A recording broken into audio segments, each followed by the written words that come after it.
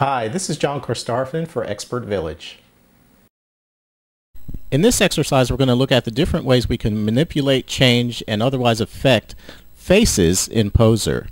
And Poser has a couple of really fun tools we can use to change the faces and to change the look of our characters, and we're going to examine a couple of those. First of all, we're going to look at the, the traditional way of creating a morph in Poser, and what that means is that we would take an OBJ file and manipulate it in another 3D program and then send it back to Poser, creating a morph with it.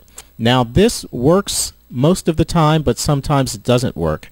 And um, but we're going to take a look at it anyway. The other tools we're going to look at are the Morph Putty tool, which is a tool that's new to version 7. And we're also going to take a look at the face room. First of all, let's look at how we create a morph target out of Poser.